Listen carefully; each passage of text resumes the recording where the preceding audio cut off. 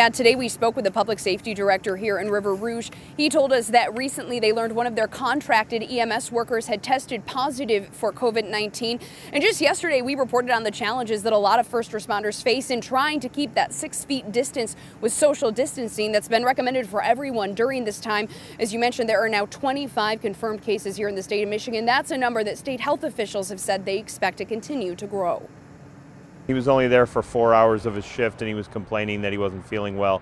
They had no indication of any coronavirus. They just, he contacted his company and our fire chief decided he should go home because he's in the healthcare work and then we were notified four days later that it was the coronavirus. A contract EMS worker in River Rouge is joining a growing list of Michiganders who have tested positive for COVID 19. Confirmed cases now at 25. The River Rouge Public Safety Director says the worker, who does not live in River Rouge themselves, had limited contact with city employees or River Rouge residents on March 8th when they went home sick. The worker went on one ambulance run before reporting his symptoms to his supervisor and going home. They didn't transport the person to the hospital, so and our two employees that were working had very limited contact with him. The public safety director says the Wayne County Health Department and city leaders were immediately notified. Like police and fire crews, health workers, paramedics, and EMS aren't always able to practice the preferred six feet of distance from others, especially when responding to emergencies. We've just told our employees to watch, and if you get any signs or symptoms of anything,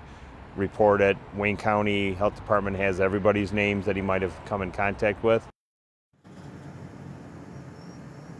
Now, we've reported that COVID 19 test kits are limited. The state's top doctor saying just a couple days ago that more will be needed. Yesterday, President Trump announcing that federal funds will be freed up to help provide an additional half million of those tests. And we're expecting to find out specifically where those additional tests will go around the country tomorrow night. It's something we'll be keeping a close eye on. Reporting live tonight in River Rouge, Jenn Schanz, 7 Action News. Amira? And Jen.